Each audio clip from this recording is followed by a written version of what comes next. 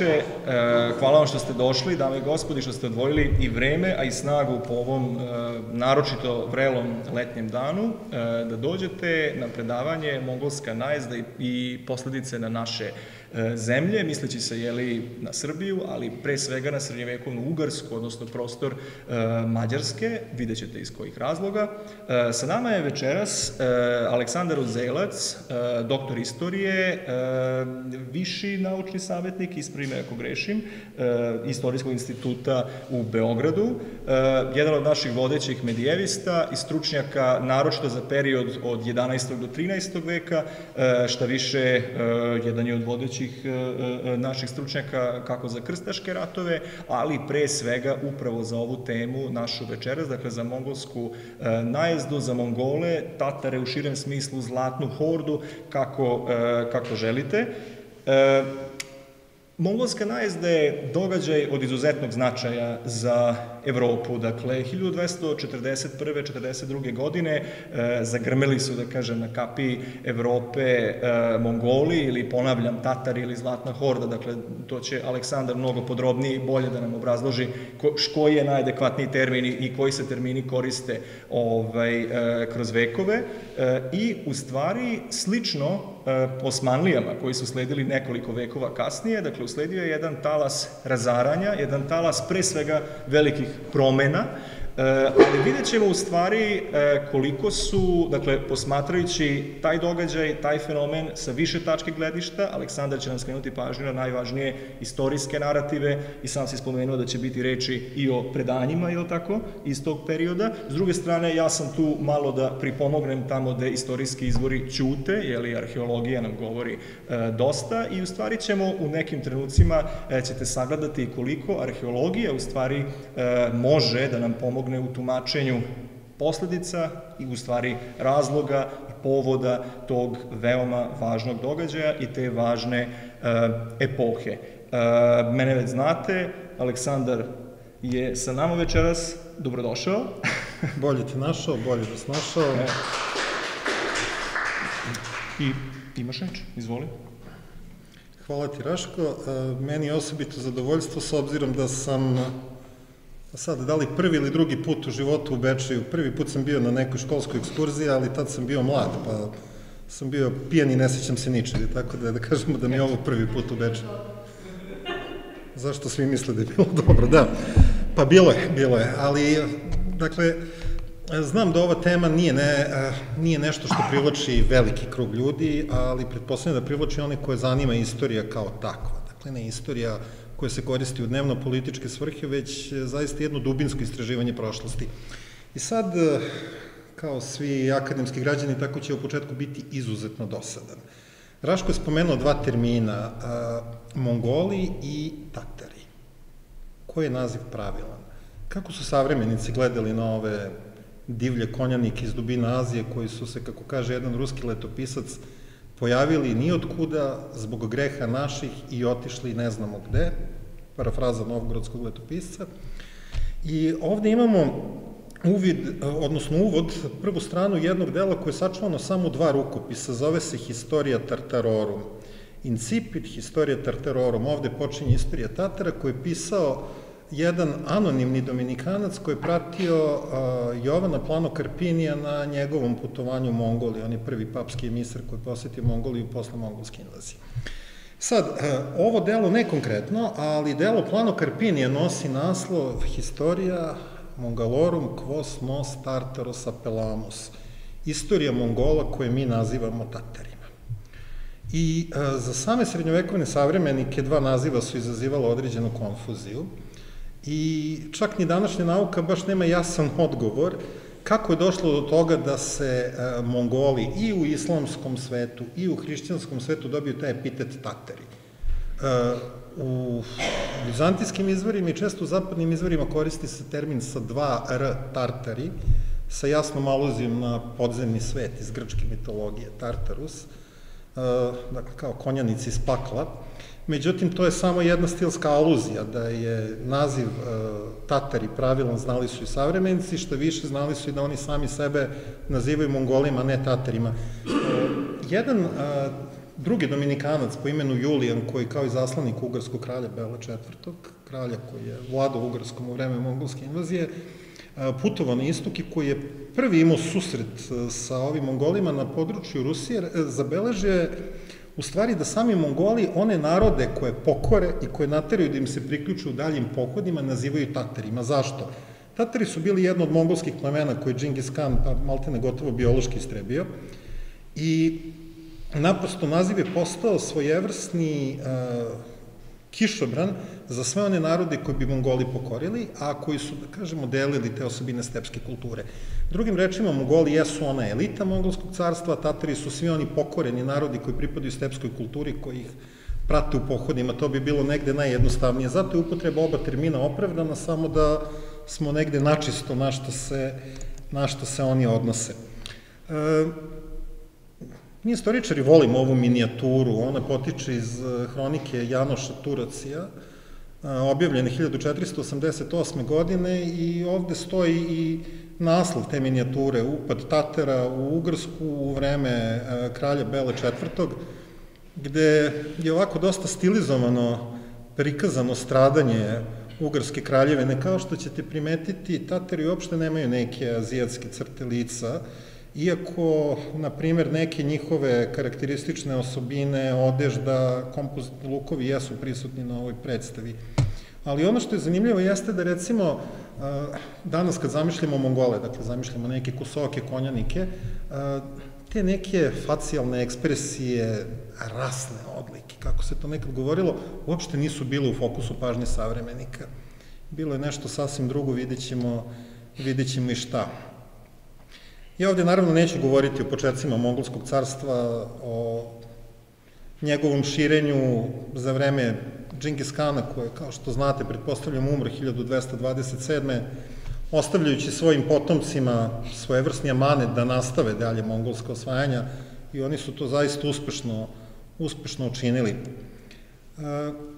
ovo je mongolsko carstvo na vrhuncu moći, nažalost, uvek postoji problem sa istorijskim kartama, vrlo često su neprecizne, pogotovo za ovu problematiku koja je do skora bila jako egzotična, danas se sve više i više e, istraživača iz različitih domena i klasičnih medijevista i orientalista i mongolista bavi uopšte mongolskom problematikom, ali e, to je ono što imamo na raspolaganju. Ja sam naprosto iskoristio neke karte koje imamo u javnom domenu.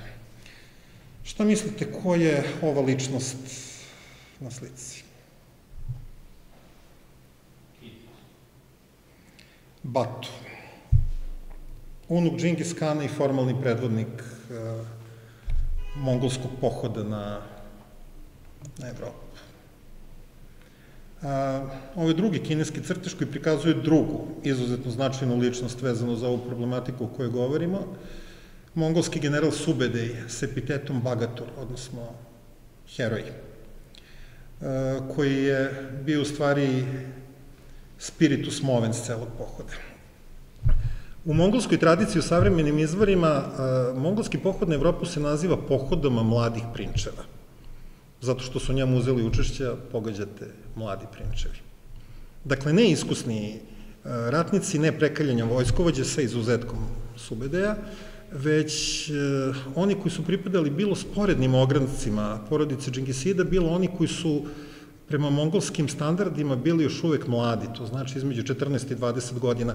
Praktično većina mongolskih predvodnika, u stvari svi sa izuzetkom Subede, svi su bili mlađi od 30 godina.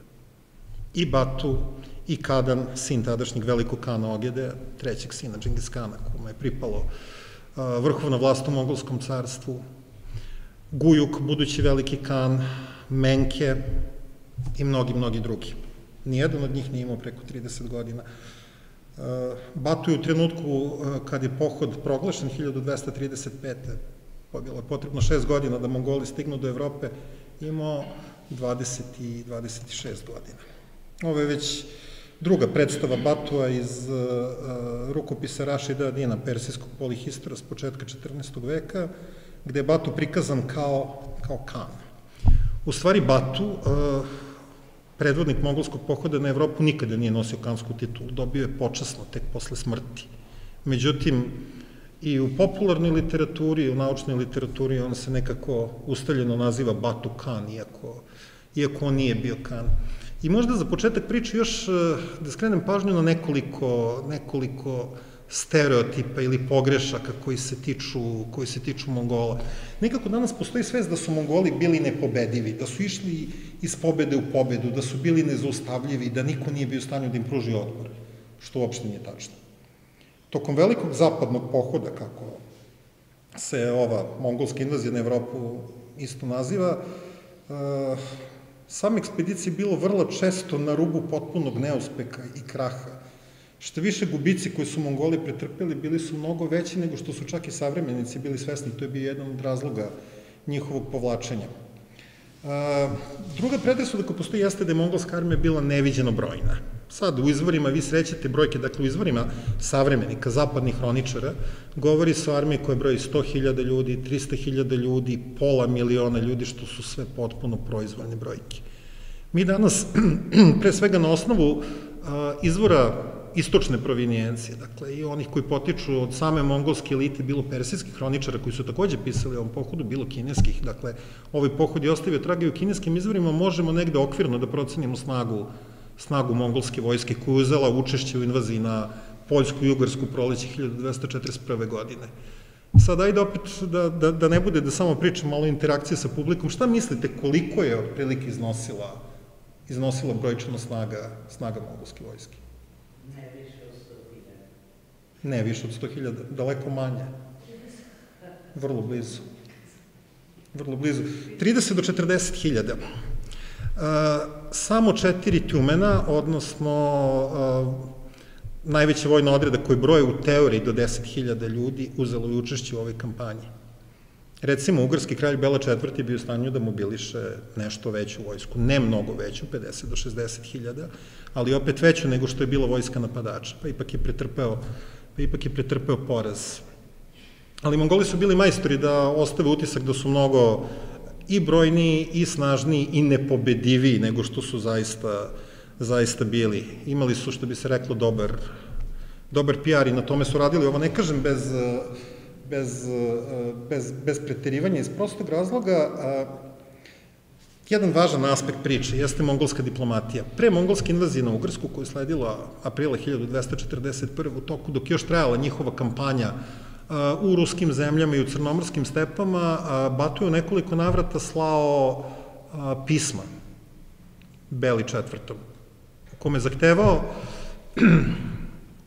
da Bela četvrti ne pruža utočište kumanima, turkojezičnim kumanima, beguncima iz crnomorskih stepa, koji su našli utočište u Ugrskoj, najavljujući strahovitu osvetu ako, ako se kralj ogluši o njegovu o njegov zahtev. E sad ono što je zanimljivo, što je ostalo opet zabeleženo u savremenim izvorima, jeste ličnost jednog od glasnika koje je Batu slao, slao Beli četvrtom.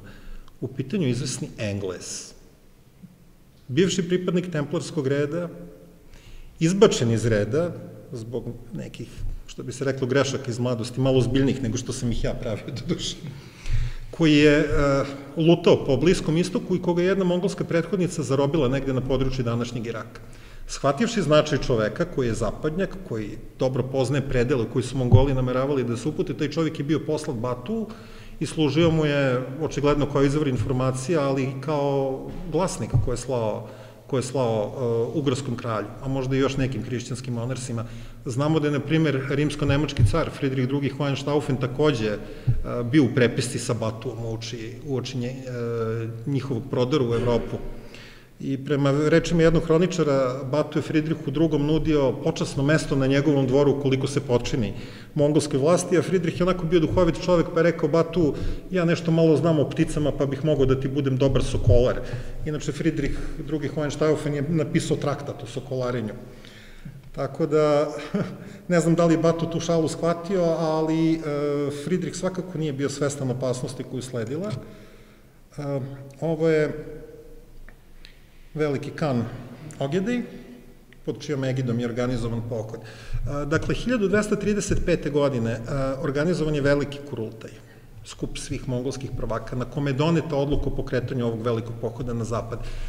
Međutim, rekao sam, to je bio pohod malih, mladih prinčeva. Za same Mongole to je od tri trenutna ratna poprišta na kojima su oni vodili borbe bilo ono najperifernije. Centralno je bilo u Severnoj Kini, najznačajnije, tu su bile angažovane najveće mongolske snage. Potom osvajanje Persije, kasnije, kasnije Iraka, to je bio drugi front i ovo je bio treći. I mm, to je jedan od razloga zašto je mongolska vojska bila relativno malobrojna za takav pohod, 30 do 40 hiljada ljudi, naprosto što je većina mongolske armije, a mongoli su bili izuzetno militarizovani, praktično svi muškarci su, što bi danas rekli, služili vojsku, što više u mongolskom jeziku, ne postoji posebna reč za ratnika.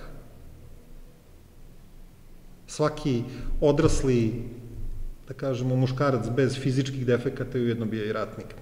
Šta više, imamo vesti da su u zapadnom pohodu učestvovali mongolske žene. Zatim imamo vesti u prisustvu inženjeraca iz Severne Kine, imamo čak i tragovu upotrebe primitivnog vatrenog oružja i mnogo, mnogo toga drugog.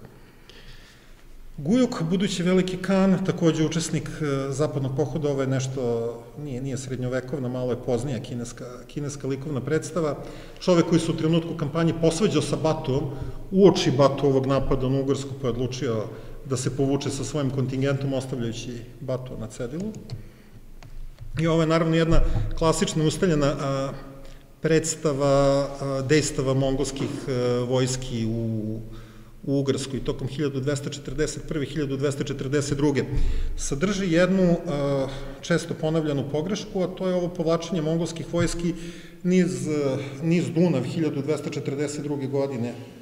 Mongoli se nisu tu da povlačili, povlačili su se istim putem kojim su i upali u Ugrsku preko Transilvanije u Vlašku, ali uh, jedna od posledica te pogreške jeste, na primjer, verovanje da je Beograd stradao od Mongola, iako nije. Mi imamo pomen uh, Beograda kao grada koji je zauzet od strane Mongola, samo što je reč o Alba Juli u Transilvaniji, koja se takođe u srednjovekovnim izvorima nazivala Balgrad, odnosno slovenski Beograd. Kao još jedan grad u Ugrskoj istog imena, Seke Šveherar, je takođe poznat kao, kao Beograd u srednjovekovnim izvorima i to latinskim. E, Raško, još malo pa ću tebi pripustiti, reč. E, glavni cilj mongolske kampanje, pomenuo sam e, Batuova pismo upućena Beli četvrtom u kome najavljuje strahovitu osvetu zbog pružanja utočišta kumanima. Glavni cilj mongolske kampanje nisu bile ni ruske kneževine, ni Ugarska, ni zemlje jugoistočne Evropi koji su takođe iskusile mongolski gnev, dakle Srbija, Bugarske i Latinsko carstvo. Glavna meta kampanje bili su kumani. Turkojezični narod, donekle srodan mongolima, ne toliko po jeziku koliko po, da kažemo, stepskoj kulturi koji su jedni i drugi pripadali. Dakle, svojevrsna borba za premoć u stepi, Kumani koji su se prvi put susreli sa Mongolima još 1223. godine prilikom jednog Subedevog prodora, dakle još za Džingisovog života, u zaleđe crnomorskih stepa kada su Mongoli u jednoj bici na rečici Kalki strahovito razbili združene odrede Rusa i Kumana. Rusi i Kumani su kroz istoriju nekada sarađevali, nekada ratovali, ali su shvatili opasnost od Mongola, pokušali da im se zajednički suprotstavi, doživjeli težak poraz. E, onda su se Mongoli povukli, to je onaj detalj iz E, Novogrodske hronike koji sam rekao na početku. Ne znamo odakle su došli zbog grehova naših i gde su potom otišli. E, ruske zemlje su narednih 15 godina do ponovne pojave Mongola živjeli u svojevrsnom pozemljenom vremenu. E, za to vreme Mongoli su se učvrstili na području istočno od Urala. Subedej je, vraćajući se na istok, doživao jedan vrlo neprijatan i neugodan poraz od povolških bugara. Povolška bugarska je otprilike današnja pokrajina u Rusiji, znate koja je? Tatarstan. Dakle, na području današnjeg Tatarstana. Subedi nikada nije zaboravio to poniženje koje je doživao od Pavoških Bugara. Dakle, Mongoli su vrlo često trpeli poraze. Zato je njihov a, prvi cilj prilikom pokretanja zapadnog pohoda bio upravo Pavoška Bugarska koja je sravnjena sa zemljom 1236. 1237.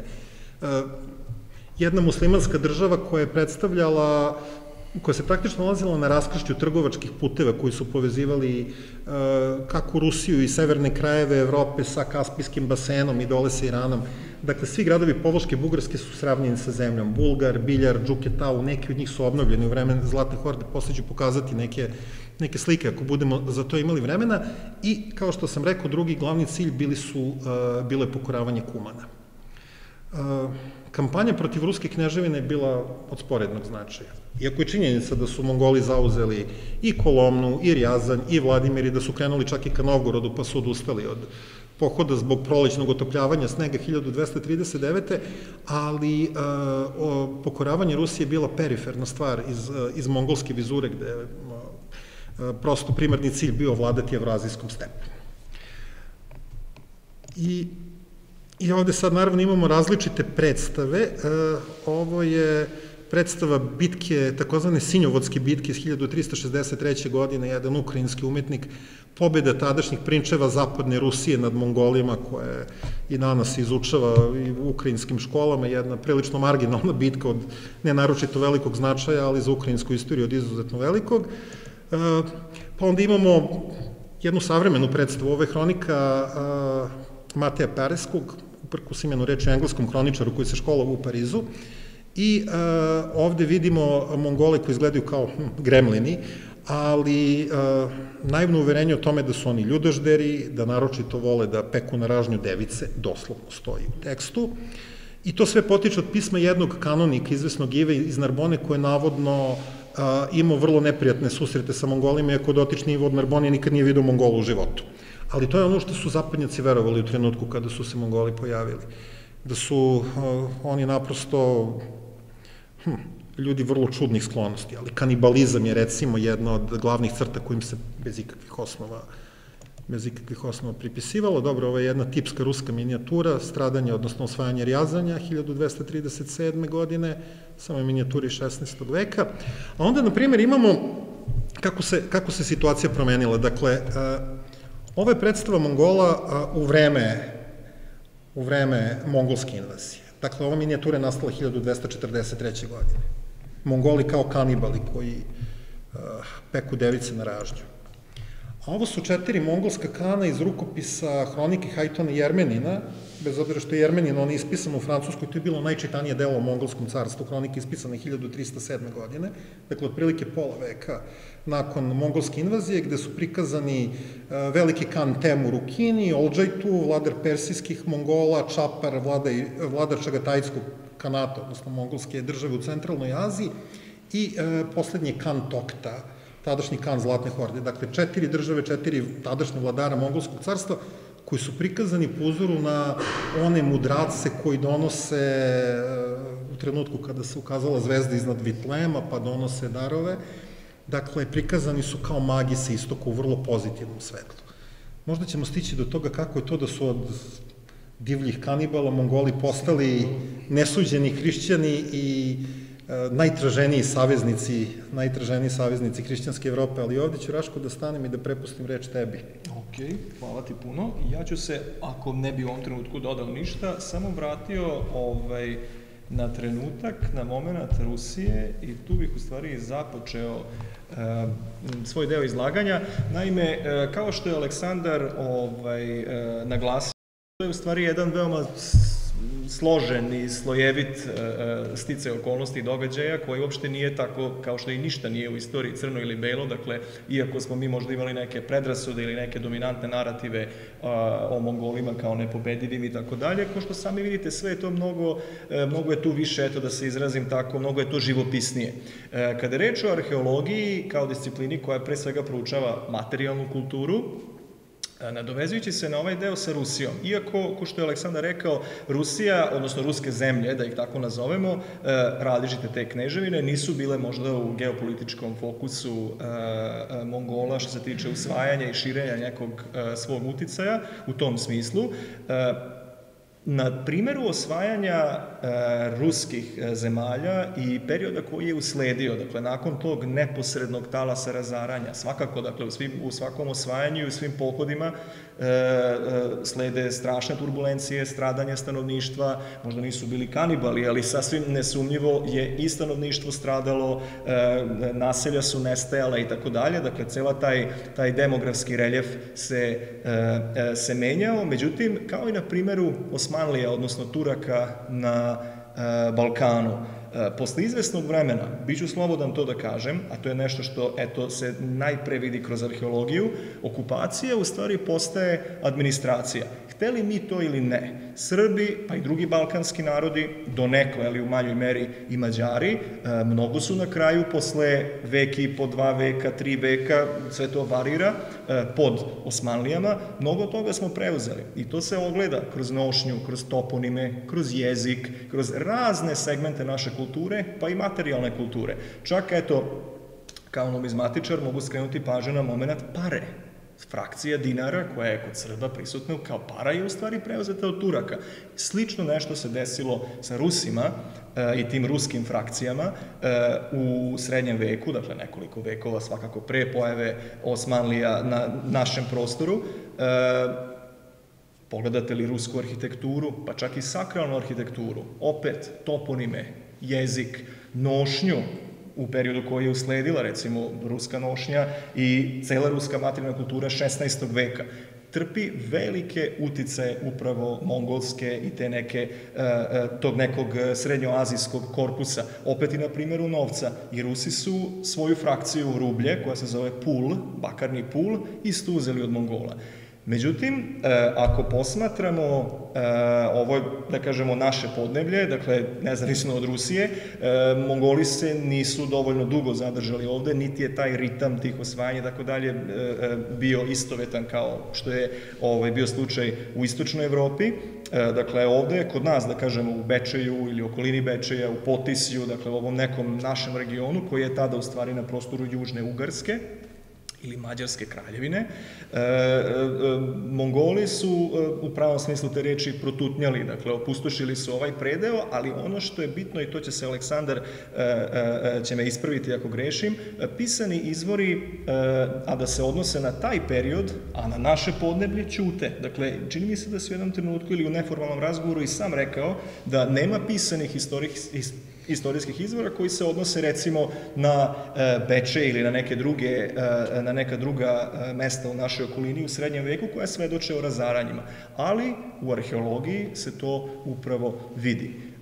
Kao primer bih istakao crkvišta srednjevekovne crkve.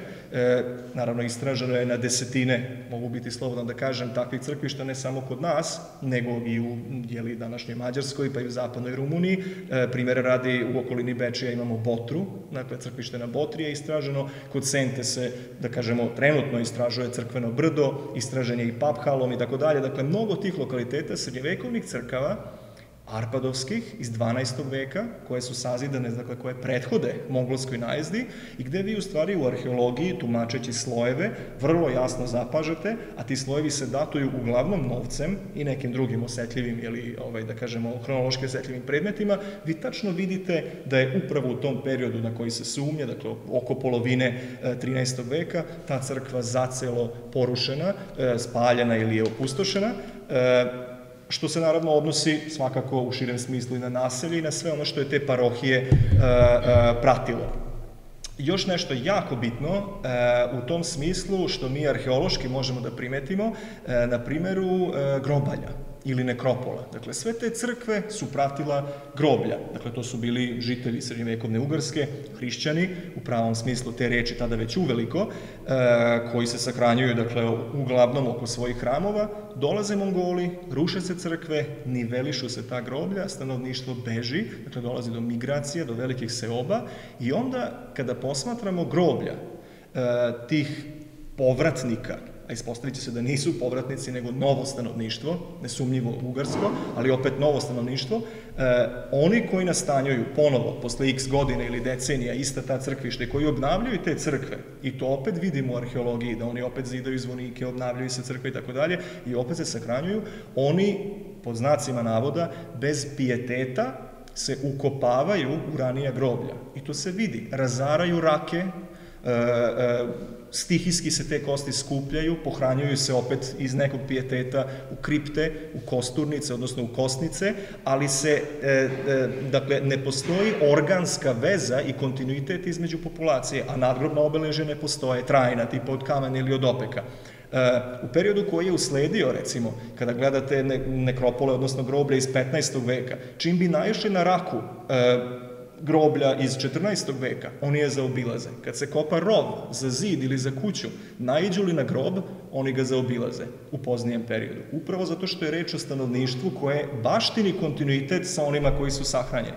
A to što imamo groblje, da se oni ukopavaju u rake svojih prethodnika, ne znajući da su oni tu ili ne obraćajući pažnju, je samo pokazatelj da je reč o novoj populaciji. A to nam je opet jako bitno da sagledamo posledice mogolske najezde, da su dakle čitave populacije, čitava stanovništva su nestajala, odnosno odlazila su, bežala su i selila se se. I ono što, znači, ovi povratnici su u stvari neki potpuno drugi, potpuno novi ljudi. I to je nešto što nam recimo, to je jedan arheološki prozor u mongolsku najezdu. Druga stvar e, na koju bih skrenuo pažnju, kao eto jedan fenomen ili posledica e, mongolske najezde, u ovim našim krajevima, jeste, što mi volimo da kažemo, horizont uh, tih... Daško, izvini. Izvoli. Neću da te prekinem, mi, mislim da je bolje da to ostavimo za kraj, ako nemaš ništa. U redu, nema, nema problema, ali Jer, eto, vratit ćemo se kao... Imam, imam jedan mali uvod vezan za to. Odlično, gde smo stali? Stali smo a, kod... Ove minijature, jel? Stali smo kod nečega drugog. Hteo sam da prvo ispratim ovi tvoje izlaganje, ali i to ćemo malo da sačekamo to su ostave novca nađene na području Ugarske, bez područja Južno-Ugarske, gde ti možeš da doprineseš tome. Ali pre toga, hajde da vidimo još, još nešto. Da li znate koja je bila odlučujuća bitka između, između Mongola i Ugara, gde se odigrala i kada? Ne. Više, na području današnje Mađarske. 11. april 1241. godine uh, Muhi Čata na mađarskom, odnosno bitka na Muhiju. Uh, reč je o kraju koji je otprilike na obodima današnjeg Tokaja. Dakle, ajde da kažemo nedaleko od Debrecena, nekako, nekako da ga povežem sa nekim naj, najvećim i najbližim naseljenim mestom. Uh, to je bio ključan okršaj uh, koji se desio bukvalno mesec dana nakon što su Mongoli provalili u Panoniju. I Da vidimo jedan pokušaj rekonstrukcije koji e, generalno nije loš. E, ne znam koliko možete da ispratite na mapi. E, glavni okršaj se odigrao e, na a, toku reke, reke Šajo preko izvesnog mosta koji su Mongoli se pravili da hoće da forsiraju dok su ugarske snage, pre svega elitne jedinice Templara kojima je Bela četvrti raspolagao, nastojale da zustave Mongole dok e, su dva odrede, jedan predvođen onim prekaljenim generalem Subedejom, drugi predvođen Batovim e, bratom Šibanom, pokušali da zaobiđu ugarske snage tako što su pregazili reku severno i južno od glavnog toka bitke i na taj način praktično udarili, udarili ugrima, ugrima iza leđa. To je ono što sami zapadni hroničari govore. Međutim, kad vidimo iz istočne perspektive, vidimo iz kineske biografije generala Subede koja nam je sačuvana, a koja očigledno potiče od nekog očevica zbivanja sa mongolske strane, vidimo da su se Mongoli našli u velikom tesnacu i da su bili na domak poraza. To katastrofalnog poraza koji je, well, dobro, to je Subedeva biografija, pa i on u glavnoj ulozi kao spasilac, koji njegova pravovremena intervencija, odnosno brzo, brzo forsiranje reke nizvodno, preokrenula stvar i u poslednjem trenutku odlučila bitku u, u mongolsku korist. Ovde vidimo još jednu predstavu koja se vrlo često vezuje za bitku na Muhiju, iako u stvari nema veze sa njom. Ovo potiče iz jednog francuskog rukopisa a, koji opisuje jedan fiktivan događaj, događaj koji se nikada nije odigrao, ali mnogi evropljani su zanimljivo u njega verovali, da je Batu, nakon što je pregazio Ugarsku, došao u Austriju i tu a, poginuo u bici na jednom mostu preko reke koja se zove Delfeus, koja je naravno potpuno, potpuno mitski motiv, ali recimo to je nešto što je verovo Jermenin Hayton, dakle oni koji je smatran najboljim poznavodcem mongolskih prilika početkom, početkom 14. veka, dakle u Evropi je postojalo potpuno pogrešno uverenje da su se Mongoli povukli zato što je Batu stradao. Do duše, ta legenda je stvorena, stvorena nekoliko, nekoliko decenija kasnije. Ovo je druga velika bitka koja se odigrala prilikom mongolske invazije na Evropu, poljska minijatura iz 15. veka, dakle takođe dva veka nakon bitke, bitka kod Lignica, odnosno današnje Legnice u Šleziji, 9. aprila 1241.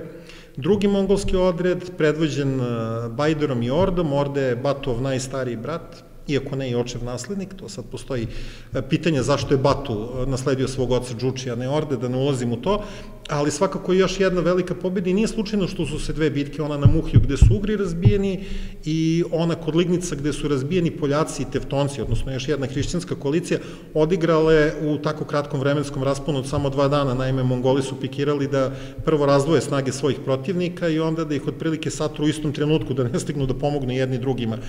To je, to je ta fascinantna mongolska ratna veština, ovo je današnji spomenik uh, nemi krstovi koje stoje e, u bici na Muhiju, na mestu gde se verovalo da se bitka odigrala, mada mađarski arheolozi predvođeni Jožefom Oslovskim pokazuju da to nije bilo mesto bitke, nego da se nalazilo nekih deseta kilometara dalje e, zbog krivudanja toka Tise i reke Šajo. U svakom slučaju e, čini se da tačno mesto bitke još uvek nije utvrđeno, ali evo danas postoji jedan modern, nazovimo ga spomenik, koji podsjeća na to. Neko je pomenuo Trogir, i poteru za kraljem Belom do Jadranskog mora koje su, e, koje su Mongoli zaista preduzeli, ali nešto kasnije. Bitka na Muhiju je njih učinila gospodarima celog područja koje je ležalo istočno od Dunava. I to je to područje koje je u stvari i najviše i najtemeljnije postradalo, uključujući ove krajeve između, između Dunavi i Tise. Za područje središnje Ugarske, recimo imamo nekoliko pisanih izvora koje tome svedoče, za područje tadašnje Južne Ugarske, odnosno današnje Vojvodine, gotovo ništa. Međutim, tu postoji nešto i tu je ono gde sam ja prekinuo Raška. A, ovo su ostave novca i bilo samo ostave novca, bilo ostave novca i nakita nađene na području srednjovekovne Ugrske koje se direktno mogu dovesti u vezu sa mongolskom invazijom. Ovo su mapirali, ovo je mapirao tim profesora Jožefa Loslavskog iz Budimpešte, treba da predstavlja up-to-date saznanja što se tiče tih ostava novca, mada a, zanimljivo je da nisu sve ostave novca uključene, pogotovo one sa područja Vojvodine, to ćeš ti Raško da kažeš, ali ono što možete da primetite na ovoj mapi, gde su koncentrisane sve ostave novca. Ne znam koliko se vidi reljef. U onome što spada u Alfeld, odnosno Panonsku niziju, brdovita područja, recimo Severne Ugarske, današnje Slovačke, nemamo ništa, nemamo nikakvih tragova ostava novca. Mongoli nikad nisu stigli dotle. Planinski deo Banata, takođe ništa. Dakle, u svojim dejstvima a, Mongoli su se vrlo dobro čuvali toga da ne zađu na teren na kome a, njihova vojska, njihova konjica ne može da iskoristi svoje manevarske sposobnosti. Zato su postradali oni ravničarski delovi, a oni brdoviti i planinski delovi srednjovekovne Ugrske su uglavnom, su uglavnom ostali pošteđeni i sada Raško Izvini još jednom što sam te prekinuo, sad je idealno vreme da se nadovežeš na postavu novca. Ovo je, ovo je adekvatan uvod u tu priču o ostavama, dakle, spomenuli smo da, slobodno možeš vratiti na mapu, znači otvori mm -hmm. to što je malo pre bilo, ovaj, može to, tu ću se malo zadržati. Dakle, e, spomenuli smo taj horizont e, ostava novca, ispostavit će se i nakita, mada mnogo ređe, dakle, uglavnom je reč o e, ugarskom novcu i novcu Srednje Evrope, odnosno o svom onom novcu koji je bio u opticaju na prostoru srednjovekovne Ugarske, pa tako imamo i novca iz Austrije, iz Koruške i tako dalje. I logično je, dakle, za pretpostaviti u svim tim migracijama, u svim tim stradanjima, kad se stanovništvo povlači, dakle, bukvalno zamislite pod znacima navoda obične ljude, žitelje, stanovnike, e, koji svoje vrednosti svoje ušteđevine, da ih nazovemo tako, svoje plate, dakle neku vrstu tezaurisane e, e, svoje novčane vrednosti, oni pohranjuju i zakopavaju u vidu ostava. To je ono što se jeli kasnije kada ljudi slučajno naiđu, kolokvijalno zove ćup sa, ćup sa zlatom, ćup, ćup sa blagom. Dakle, upravo u toj priči ostava e, e, mongolska najezda izaziva, ko što se da videti na osnovu ove mape, e, masovno pohranjivanje tih ostava. Što je logično, isto se dešava i na Balkanu nekoliko vekova kasnije e, e, dolaskom e, Turaka i to ovako nije ne, neobično, ali kao što je Aleksandar Aleksandar ovaj, jako dobro skrenuo pažnju, e, upravo putem ostava, dakle putem jedne vrste arheološkog nalaza, e, mi možemo da zapažamo i možemo da tumačimo na neki način manir i dinamiku, odnosno e, smelosti, način razmišljanja e, horde mongolske, odnosno uh, uh, mongolske vojske koji su, eto, ispostavlja se, prezali, odnosno nisu zalazili u brda, ne bi bili izloženi nekakvim zasedama ili, uh, ili gubicima. Spomenuo si da koliko je u stvari ažurna ova karta, dakle, eto, mogu biti slobodan da kažem da ovo jeste svakako jedan odličan ovaj, prikaz, jedan presek te teme, ali bih morao da skrenem pažnju da je upravo naše područje, današnje AP Vojvodine ili Severne Republike Srbije, konkretno Bačke e, Banata i u manjoj meri e, Srema, isto zasićeno ovim ostavama. Ovde je u stvari zastupljena samo jedna ostava, ali eto ja mogu da vam kažem da su one dokumentovane i u Irigu, Mokrinu, Čortanovcima, Gospodjincima i u okolini Bečeja. Dakle, imamo jednu ostavu e, te vrste, Da, dakle, na karti je samo dupljaja, ako ja dobro vidim, ovo bi trebalo da bude dupljaja. tako uh -huh. je.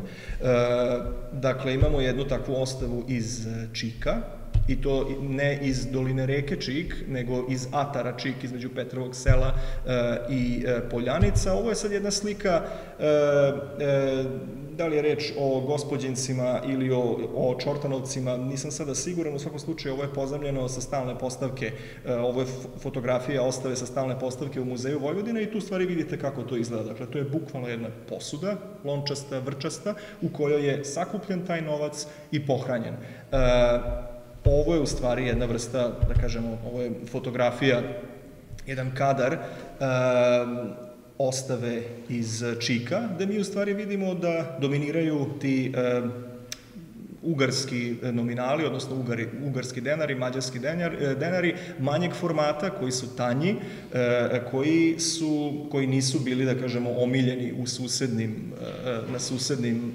tržištima, što više i sami Mađari su preferirali mnogo teže i skupocenije, odnosno mnogo bolje pod znacima navode ili u tom monetarnom smislu novce Srednje Evrope ili kasnije Balkana, ali upravo te ostave nam dopuštaju, da, znači, drugim rečima, da nije bilo mongolske najezde, ne bi došlo do pohranjivanja tih ostava, da nije bilo tih ostava, mi bismo ostali uskraćeni za mnoge neke vredne podatke, dakle, upravo putem tih ostava tumačimo mnoge stvari.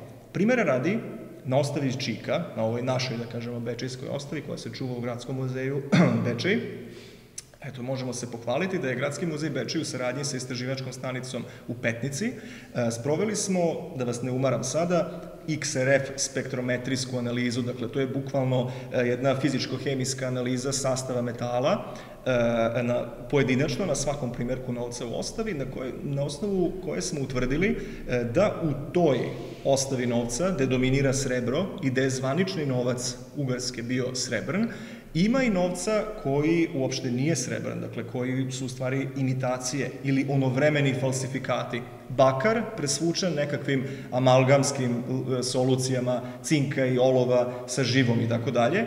I mi recimo na tom primeru, na primeru ostave iz Čika, primećujemo da je u stvari prevara falsifikatora e, bila kompletna.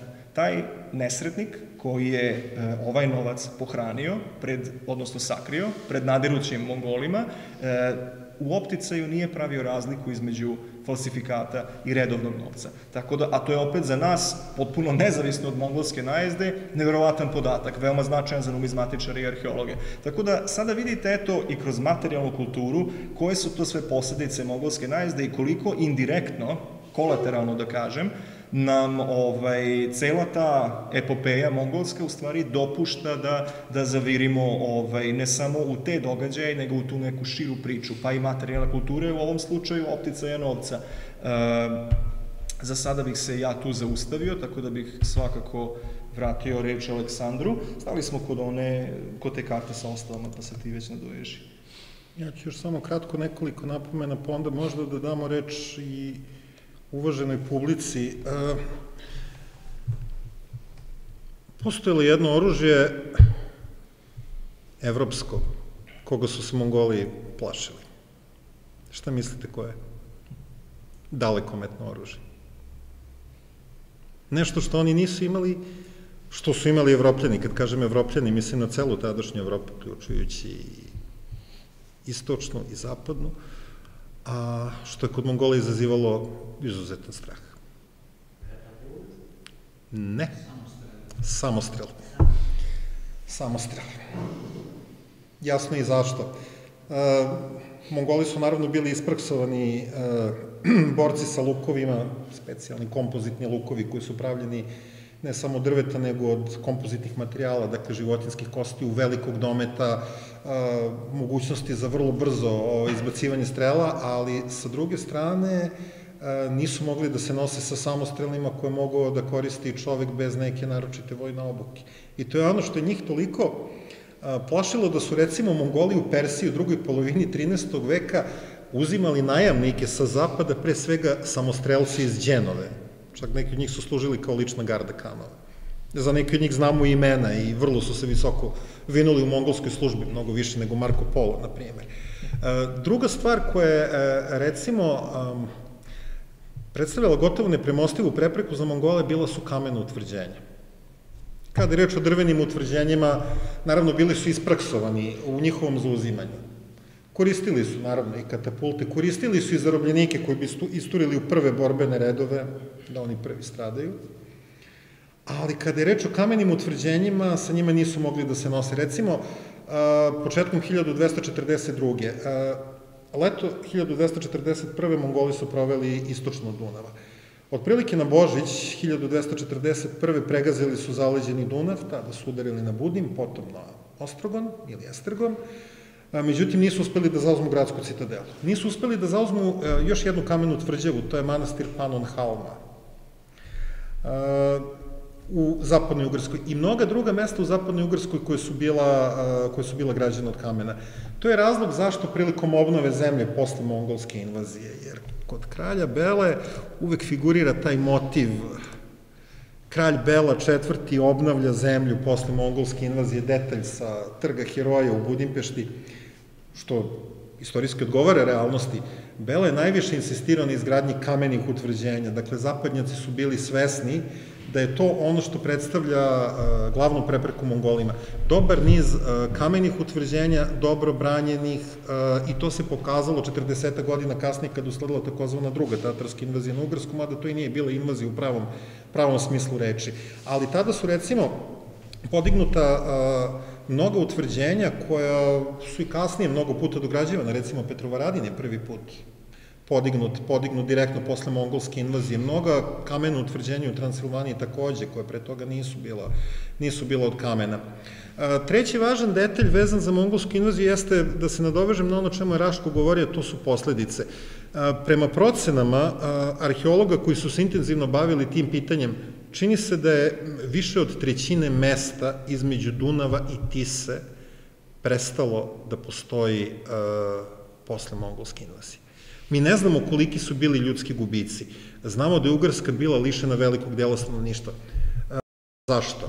Sa jedne strane, e, naravno, ljudi koji bi stradali u borbama. Sa druge strane, zarobljenici koji bi Mongoli povukli na istok, oni su pre svega hm, pikirali vešte ljude, recimo rudari iz Transilvanije. Ili umešne zlatare, tako se jedan francuski zlatar iz, e, iz Alba Julije na kraju našao u Karakoromu, gde je napravio čak i jednu velolepnu statu za velikog kana, ali postojalo je još nešto što je stvari najviše dovelo do depopulacije. E, čini se da su Mongoli u potpunosti crpeli privredne resurse Panonije.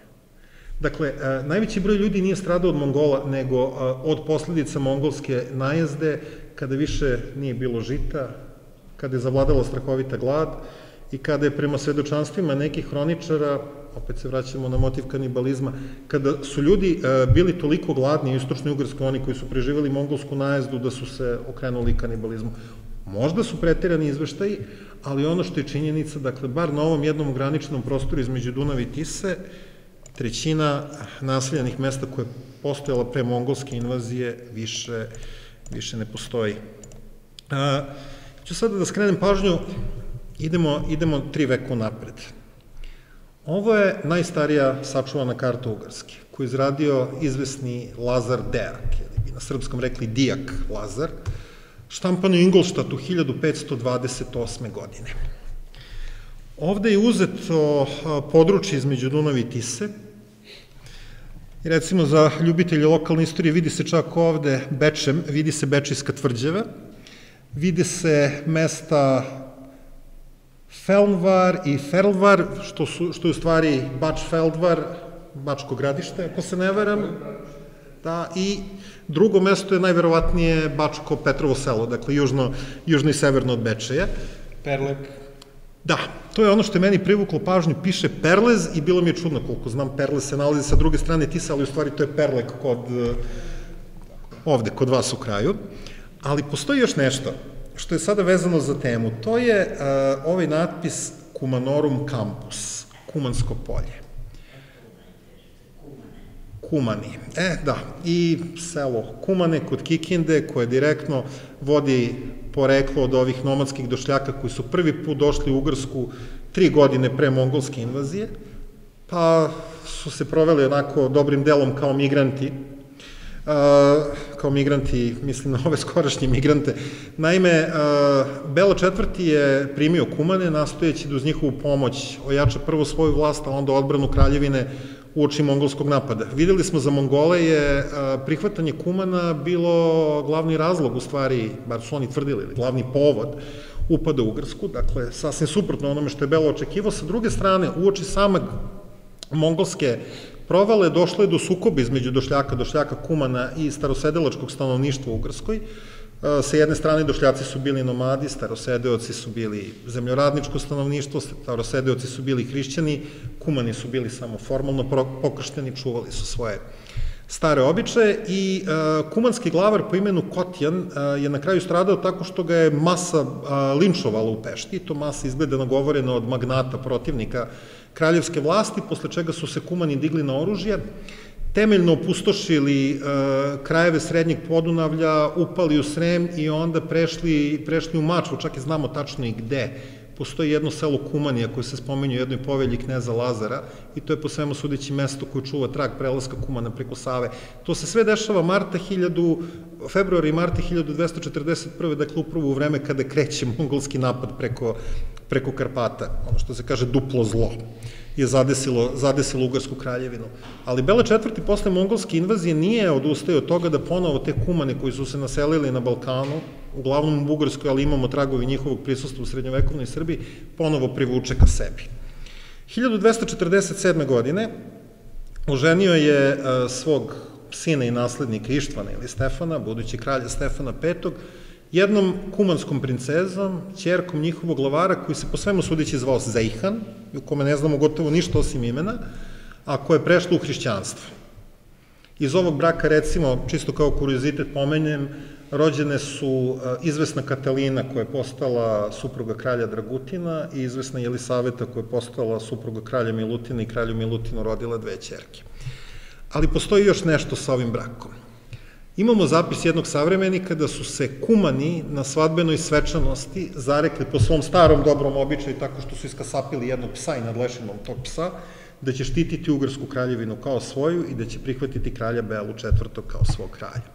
Nakon toga e, naseljeni su u raznim krajevima Ugarske, e, na, u pokrinama koji se danas zovu Kiškunšak, Nađkunšak, Velika i Mala Kumanija, takođe i e, na raznim drugim područjima između Dunave i Tise, na opustelim predelima, gde je stanovništvo najviše postradalo od mongolske invazije, i to je ovaj Kumanorum kampus, Kumansko polje koje vidite na ovoj geografskoj karti, a koje se javlja na geografskim kartama do duboko u 18. vek. E, šta više imamo zapise da su ti kumani, ili paloci, kako su ih mađari zvali, paloci po ruskom imenu polovci, ruskom imenu za kumane, čuvali svoj jezik takođe do 18. veku, o čemu recimo u 17. veku piše biskup Mikloš ili Nikola Olah.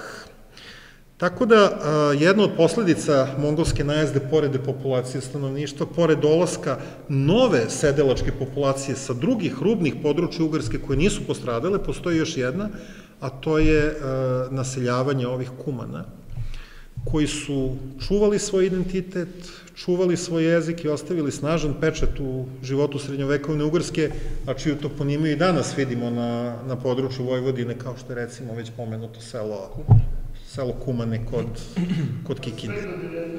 veka su imali neku vrstu teritorijalne i političke autonomije u Ugršku.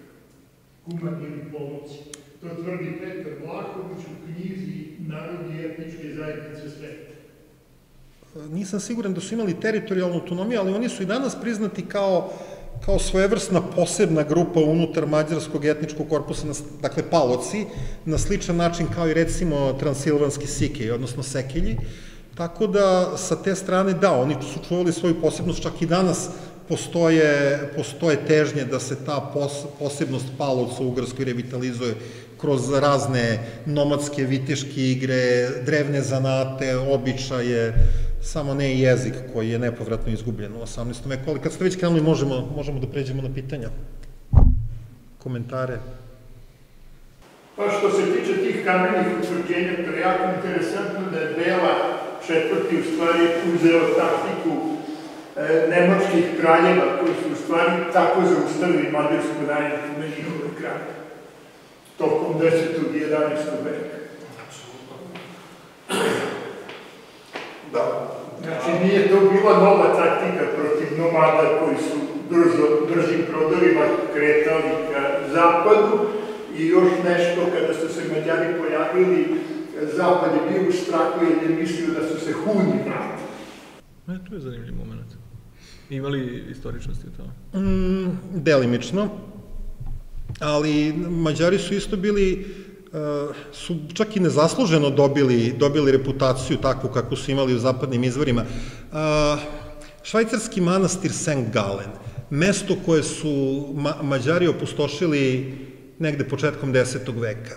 Čuveni zapis o divljaštvu Mađara koji je ostavio monah iz St. Galena, koji kaže kako su Mađari pobili sve monahe, kako su bili gori od vikinga, I kaže, verujte mi na reč, ja sam bio očevidac svega toga kao monak u St. Galenu. Dakle, s jedne strane tvrdi da su pobili sve, sa druge strane on je bio monak u St. Galenu i nisu mu, nije mu dlaka sa glave falila. Dakle, pa, to, je, e, to, je, to je zanimljiv moment. Onda, onda kad sa druge strane čitate objektivni izveštaje, onda vidite da ti Mađari koji su predstavljali strah i trepet, uh, E, su stvari bili čak mnogo manje krvoločni nego recimo razne feudalne vojske u njihovim lokalnim sukobima, recimo nemački riteri protiv danaca, pa u jednoj bici strada 5-6 vitezova i 20.000 seljaka. Ali ko broji seljake?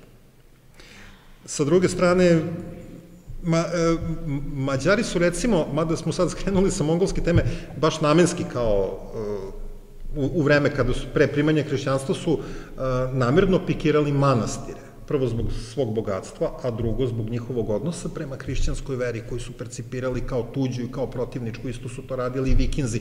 I uh, najveći deo zapisa o svim tim surovostima onih nehrišćana, neznabožaca, pagana, potiče iz pera monaha kada čitate one manje brojne svetovne izvore, onda imate mnogo objektivniju sliku nego što je recimo pružimo odnosi kao ovaj monah iz St. Galena.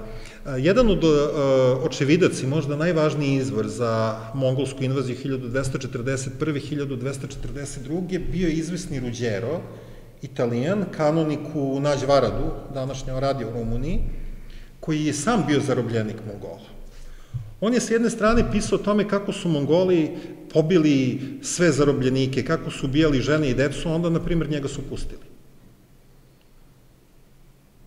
I u svom izveštaju koji ima jedan živopisan naziv, Carmen Miserabile Super Destrukcione Regni Hungarije per Tartaros, žalosna pesma o uništenju Ugarske kraljevine od strane Tatara, koji je pun takvih mesta, o mongolskoj surovosti, sa druge strane samo je pričutao deo kako i on izvuko živu glavu. Dakle, nije rekao ja sam imao sreću, ja sam im pobegao, ne. A eto, on je preživeo i ostavio zapis o tome. Mada činjenično, činjenica je da su Mongoli bili izuzetno surovi i da su to koristili smišljeno, znajući da se strah širi ispred njih i da je strah uh, ubojitije oružje od, uh, od mača. Dakle, ako slomite moral protivniku pre borbe, vi ste već uradili pola posla. I zato su, uh, po svemu sudeći, i sami svesno širili vesti o svojim zverstvima i zlodelima da bi oni odjeknuli što dalje, znajući da će to imati negativan efekt na, na, na protivnike. I to možemo da vidimo kada ukrstimo izvore. Marketing. Loš marketing, ali svaka loš, reklama je... Loša dobar, da. Ja bih priliku samo iskoristio da se nadovežem, eto, bilo je reči o, o posledicama kroz priču o, o kumanima, o nekim posrednim posledicama na Ugarsku, međutim, napomenuo bih i to da nakon povlačenja Mongola sa, sa ovog prostora u užem smislu, svakako, svakako su kroz drugu polovinu 13. veka, Zlatna horda je i dalje figurirala kao jedna značajna geopolitička e, sila i tim povodom u toj u tom periodu, nekoliko decenija nakon 1241. E, godine, e, mladi Stefan Dečanski, e, budući kralj Srbije, kao svevrsni zalog mira i kao jedan srednjevekovni ustaljeni instrument mira između, između dve, između dve frakcije, je poslat kod Kana jel bi bio ljubazan samo malo više o tome da nam kažeš, o momentu Dečanskog na Tatarsko, odnosno, kako se to kaže, na Harvardu, ovaj, kod, kod Mongola. Otišao na Harvard. Otišao na Harvard, da. Rečima Muftije Zukorlića. Da. Čovjek koga sam lično poznavao i o kome mislim sve najbolje, ali pre, pre, pre nego što se, uprko s neslaganjem u određenim stavovima, ali pre toga, uh, Ima, ima jedan detalj, Raško, odgovorit će na to, opet samo kratko, povlačenje Mongola. Ok, svi znamo kada su Mongoli došli, šta su radili, govorili smo o posledicama, i onda postavlja se pitanje zašto su se oni povukli. A, u istoriografiji postoje recimo jedno četiri škole mišljenja. Jedna je da su toliko iscrpeli privredne resurse Panonije da više nisu mogli da izdržavaju svoju vojsku pa da su se zbog toga vratili nazad.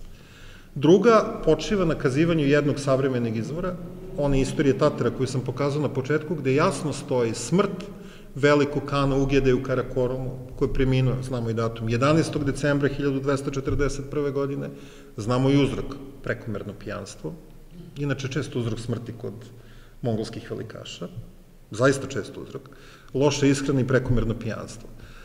Što je zanimljivo, pa kumis, prevrelo kobilje mleko, ali u enormnim količinama. Imao sam prilike u Tatrstanu da pijem kumis. To je zaista predivno piće, ali recimo kada popijete više od dve čaše, nije vam dobro. Ne zbog količine alkohola, nego naprosto zato što je to takav, piće takvog, od takvih sastojaka da vam zaista Buke. napravi problem u stomaku. Da. Tako da treća, treća čaša je već onako kraj. E, ponovi samo od kobiljeg mleka. Fermentiranog? Fe, fermentirano kobilje mleko, mada može da bude i ovči, ali za Mongole to je bilo pre svega kobilje mleko. Kobilje mleko. A, dakle, smrt velikog kana. A, treći razlog a, koji naslučujemo jeste takođe vezan sa smrću velikog kana. A, to je što je Batu kao formalni predvodnik pohoda shvatio da će imati velike probleme ako Ogedejev sin Gujuk, njegov protivnik koji se ranije povukao iz kampanje, bude izabran za novog velikog kane i požurio je natrag da to spreči. Potom postoji mišljenje da je naprosto su Mongoli toliko već imali otežane linije komunikacije da su morali da učvrste svoju vlast u crnomorskim stepama i da je to u stvari bio razlog. Dakle, opet vezano za nemogućnost snabdevanja vojske, ali postoji još jedan, koji je onako najprozičniji. Mongoli su i sami pretrpeli velike gubitke prilikom, prilikom invazije na Ugarsku, potom uh, jedan krak mongolske armije, kao što smo rekli, krenuo da goni kralja Belu IV. do Jadranskog mora, pa je u svom povratku prešao delimično preko Bosne, uh, vratio se u takozvano srpsko primorje, dakle na području današnje Crne Gore, gde nekoliko gradova u okolini Skadra takođe postradalo od Mongola, pa se njihov dalji put može rekonstruisati uh, takozvani zetski put koji vodi iz okoline Skadra na Prizrenje, dakle na Niš, potom u severoistočnu Bugarsku, pa je onda jedan deo Mongola čak upao na prostor Latinskog carstva, dakle u okolinu Carigrada gde su vodili dve teške bitke protiv franačkih vitezova, prvu izgubili, drugu dobili. Tako da, a, mm, nisu Mongoli prvo dobili sve bitke, drugo imali su strahovite gubitke i verovatno je kombinacija svih ovih faktora uticala na to da se oni povuku. Sasvim je moguće da je vesto smrti velikog kana bila zgodan povod Batu da povuče svoju vojsku, ali i činjenica da su Mongoli bili izuzetno, izuzetno oslabljeni i da više nisu bili u stanju da nastave pohod. Tako da opet kažem, domete mongolske ratne mašinerije ne treba precenjivati. Pitao si me za Stefana Dečanskog. To sada skačemo sa pa, nekih pola veka u, u ka našem vremenu, ali opet to je jedan, jedan detalj koji možda nije zgorek pomenuti. Nakon mongolske invazije Batu utemeljuje državu koju će kasnije biti poznata pod imenom Zlatna horda, iako je savremenici nisu tako zvali. Zlatna, a, zato što iz nomadske perspektive a, boje se obeležavaju, odnosno strane sveta se obeležavaju putem boja. Recimo, bela boja označava a, zapad, crna sever, crvena jug, zlatna boja označava centar, dakle središte, pa u prenesenom smislu i središte političke vlasti i odatle taj epitet zlatna. Naziv hordu u stvari je mongolski ordu, šator, odnosno, kako bih rekao, mesto gde, gde boravi kan, ne horda u smislu kao divljačka horda, nego to je, to je jedna pogrešna interpretacija, ali e, zlatna orda samo po sebi znači, prosto značava zlatni, odnosno centralni hanov šator. E, sad, e, naravno i Zlatna horda je kroz svoju istoriju prošla kroz razne centrifugalne procese, sukob centra i periferije i krajem 13. veka na području zapadnih zemalja Zlatne horde, onih koji su ležali zapadno od Dnjepra, sporedni pripadnik vladajuće džingisidske porodice, u stvari daleki Batov rođak po imenu Nogaj, čiji ću Novčiće pokazati kad smo već tu Nogaj, isto izuzetno zanimljiva ličnost. Ovo je replika, ali verna replika je praktično postao nezavisni gospodar zemalja koje su ležale na području između otprilike današnje Đerdapske klisure na krajnjem zapadu, dakle kontrolisao celu Vlašku niziju i područje a, do Dnjepra, do Dnjepra na istoku. E, dotične noge se vrlo često mešao u balkanska zbivanja, pa je u jednom trenutku pomogao svojim bugarskim štićenicima kad su se našli u sukobu sa srpskim kraljevima Dragutinom i Milutinom, pa je kada je kralju Milutinu zapretio invazijom na njegove zemlje, Milutin bio spreman da pošalje e, svog sina kao taoca, odnosno založnika Nogaju i dotični Stefan, budući kralj Stefan Dečanski je proveo tri godine među, među Tatarima, dakle na Harvardu. Inače, i kod e, ruskih prinčeva negde uobičajeni rok službe, dakle, ruski knježevi su takođe svoje sinovi i naslednike slali na svojevrsno doškolovavanje kod mongolskih vladara, i obično njihov rok službe bio dve do tri godine. Posle toga bi bili puštani kućama, tako se desilo i sa, i sa Stefanom Dečanskim. Inače, iza noga su ostale nekoliko, nekoliko intrigantnih moneta.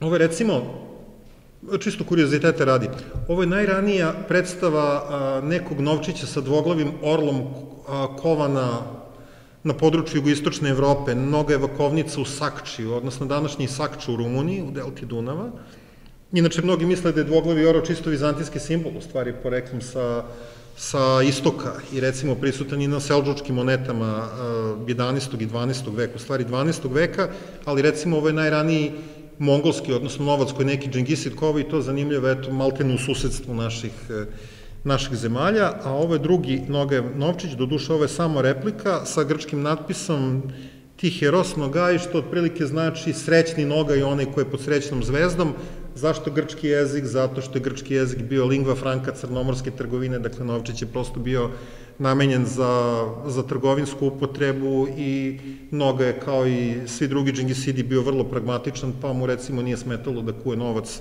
na, na grčkom jeziku u ovom konkretnom konkretnom slučaju. Za kraj, ali samo ovaj, skrenuo pažnju na kompozitni luk, eh, na kompozitni luk u živopisu. E, da. E, uticaj... Izuzetan moment, zaista. Da, možeš i ti. Slobodno, ne, slobodno kaži. Freska Svetog ratnika, Sveti Merkur je uh, manastir Staro Nagoričane, uh, tatarski kompozitni luk, ovo je inače srpska srednjovekovna freska, otprilike sredina 14. veka, jedna od pet sačuvanih na koji se nazire prisustvo tatarskih kompozitnih lukova. Lukovi sami po sebi nisu materijal koji može da opstane vekovima, dakle, za razliku od mačeva. Ali, recimo, mogu tobolci i mogu vrhovi strela. I mi imamo tragove vrhova strela nađenih i u Srbiji i u Bugarsku koji su nesumnjivo, kako bih rekao, odgovaraju tatarskim strelama, u smislu vrlo su Tatari su imali dvadesetak različitih tipova strela. Za lov sitne divljače i krupne divljače, za borbu, za probijanje oklopa i tako dalje i tako dalje. I odjednom vidimo, vidimo takve slične tatarske strele na Balkanu. To ne znači da je to ostalo od nekakvih Tatara, već naprosto došlo je do usvajanja određene, određene vojne veštine od strane istočnjaka, odnosno od strane balkanskih balkanskih srednjovekovnih naroda pod uticajem istočnjaka i recimo takav uticaj vidimo i na ovim likovnim, likovnim predstavama kao što je ova freska Svetog ratnika. Kažem, jedna od pet takvih sačuvanih sa područja Makedonije, sve oslikane u 14. veku, sve oslikane pre osmanskog vremena. Dakle, ovo je preosmanski, preosmanski uticaj.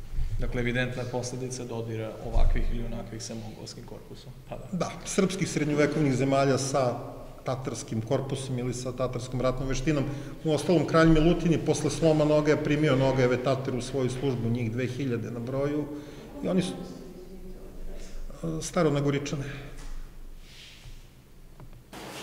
Ja se na uspomenu na Mongole, izvinjavam se, da, na Tatar.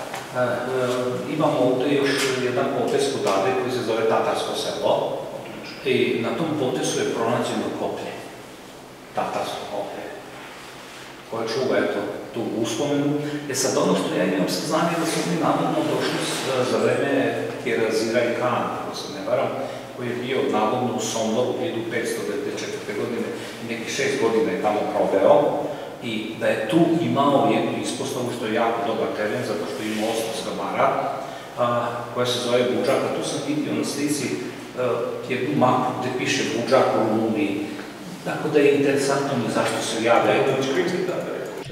Jeste, reč je, reč je o krimskim Tatarima i o Hanu Giraju koji je bio osmanski saveznik u dugom ratu i to sad izlazi iz okvira naše teme, ali to jeste verovatno trag iz tog vremena, dakle malo mlađeg. Postoji pa jedno desetak srpskih zapisa, dakle zapisa u rukopisima iz tog vremena koji govore o Tatarima na na području današnje Vojvodine u vreme dugog rata, to je možda tema za jedno posebno predavanje, a to je tek malo, malo poznata tema. E sad kad ste spomenuli Budžak, Budžak naprosto znači uga, odnosno zem, u geografskom smislu zemlja koja, da, I e, ima jedan kraj, na prvu sliku koju ste stavili, e, e čekajte, baš mislim da je ova. Evo ova. Vratite, vratite još. Evo ovde. Čekajte samo. A, Beđak, a, to je, to je a, još jedan od mongolskih prinčeva koji uze učešće u mongolskoj invaziji na, na Evropu koji se zove Bu, Buček ili Budžek u izvorima. Ime možda ima veze sa tim, ali ovde lično ima u pitanju, ne oblast. I ono što mi je bilo interesantno, ona prva slika iz Persije što je bila, gde je prikazan, uh, uh, evo pa, uh, interesantno, po mom saznanju Mongoli su verovali u Tengru, to mi je bio vrhovni bog. E, interesantno, to je bog nebeskog plavetila. Interesantno, Mađari more zovu Tengar. Reč je isto korena, zato što a, more i nebo zbog plavetnila imaju određenu semantičku vezu. Da, da, da, da. Postoji određeni leksički fond. Simbolično prikazano da je tako učeni i kan i boje oko njega. Odlično se kaže. Uvaženi kolega, izvoli. Ja, samo zahvalim prvo da nam iscrpnom izlaganju strane dvojice. Ove stvari sam ja lično učio, jako sam istoričan, ima nas više u publici. Jedno pitanje, svi tvoje mišljenje, pošto ja tebog nalazimo se trenutno na izložbi u Bečevskoj tvrđavi i znamo da je taj Prela četvrti 1938. darovnicom Haluđerima iz Sekre Fekera, odnosno Beograda, ovaj, to krstašima dao mane da na prostoru ovaj, Otise e, sagrade jedno utvrđenje. E, da li je ono moglo da bude formirano do prodora Mongola u Ugarsku ili je u svojoj priči sagrađeno nakon povlačenja Mongola? Pošto je su neka oprečna mišljenja, da li je tvrđava već u nekom obliku tvrđava pre, pa da Mongola ili ipak tamo negde pripada drugoj polovini 13. veka da je, ne da kažem, da je se sazidala, sagradila. Ako se ne veram, mada opet ovde ima ljudi koji mnogo bolje od mene poznaju lokalnu istoriju ovog kraja, Reč je o darovnici Jovanovcima, odnosno njihovom konventu, čije sedište bilo u Sekeš Fehirvaru. Eh, Bele iz političkih razloga nastojeći da privuče kako templare koji su imali posede u Dalmaci, tako i Jovanovce koji su uh, imali posede u okolini Balatona, dakle u zapadnoj Ugrskoj, darovao i jednima i drugima i više nego što su oni sami tražili i više nego što su imali potencijala da zaista pre, preuzmu kao posede i da obnove. Tako da sama darovnica iz 1238. godine ne znači da je neposredno nakon toga podignuta tvrđava i bez nekog konkretnog arheološkog traga konačan odgovor da li jeste ili nije se ne može dati. E, ono što svakako sigurno nije, nije, nije bila nikakva kamena tvrđave, ja mislim na ovom prostoru tako rano, niti imamo bilo kakvog traga neke kamene tvrđave u potisju pred, mongolsku, pre mongolske invazije, tako Is, Istražujući arheološki lokalitet utvrđenja 2019. 2020. godina i na osnovu nekih ranijih istraživanja pokrajinskih zavoda, faza e, srednjevekovna faza iz tog perioda nije dokumentovana. Fortifikacije na Bečejskoj tvrđavi, odnosno na lokalitetu Stari grad kod Novog Bečeja, e, počinju vidno poznije, dakle od nekog možda 15. veka. Sasvim je moguće da je utvrđenje, odnosno navodno i jeste, i spominje se tvrđava još u 14. veku, ali ovako arheološki, ono što mi možemo za sada, u izostajanju daljih istraživanja, da tvrdimo jeste da sasvim sigurno postoji u 15. veku. Ali odlično, odlično pitanje, koliko su u stvari kamena utvrđenja bila svojstvena e, e, krstaškim redovima? Kamena utvrđenja jesu bila svojstvena krstaškim redovima u svetoj zemlji, međutim, kada je reč o utvrđenjima koje su građena na području Ugrske, opet postoji jedan problem, to je što je nešto darovano u određenu svrhu, ne znači da je ta svrha ispunjena. Mi imamo nekoliko slučajeva u Ugrskoj, recimo, posle mongolske invazije, Bela fokus Jovanovaca prebacuje na pogranično područje, na oblast koja su izvorima zove Terra de Zeurino, odnosno Sorin, severinski banat zato što je tu granično područje gde očigledno a, postoji strah da bi mongolska vojska mogla ponovo da upadne, kao što jeste jedan krak mongolske vojske tu upao. Čak sam ja pisao jedan rad na tu temu i baš dokumentovo mesto gde je upala Mehadija, odnosno Nađ Mihal. Ako je neko išao kolima ili možda vozom između Temišvara i Turne u Rumuniji, to je onaj prelaz kroz, kroz Karpate, relativno prohodan. Tu je baš ovi mongolski zapovednik Buček prošao i a, povelja Bele četvrtog Jovanovcima definitivno ukazuje na to mesto. E, dakle, tu e, isto za Severin mi nemamo traga kamene tvrđave čak ni tada, a to je neuralgična tačka, dakle to ide postepeno. E, sami Jovanovci, kao i Templari, kao i Tevtonci koji su takođe bili prisutni u Ugrskoj, očigledno ili nisu imali dovoljno resursa da ispune kraljeva očekivanja ili nisu hteli da te resurse troše onako kako je kralj od njih nastojao. Tako da su mnoga očekivanja ugarskog kralja, kada su u pitanju viteški redovi, se pokazala nerealnim i neispunjenim. Zato opet, kažem, bez arheoloških tragova, samo na osnovu pisanih izvora ne možemo, ne možemo da donesemo definitivne zaključke. Da li ima još pitanja? Ako nema više pitanja ili konstruktivne kritike, ovaj, mi bismo vam se svakako još jednom zahvalili što ste odvojili vreme, što ste došli. Uh, skrenuo bih pažnju, eto, ko nije do sad bio u prilici, možete još pogledati uh, izložbu o Bečejskoj tvrđavi. Uh, Aleksandra, hvala i tebi što si došao, što si nam podario jedno sjajno izlaganje i uvidu jednu veliku temu. Hvala I... tebi, hvala muzeju, hvala divnoj publici. Eto. Vidimo se na jesen jednim malo jednim, svečanim jed, povodom. Jednim drugim povodom, tako je.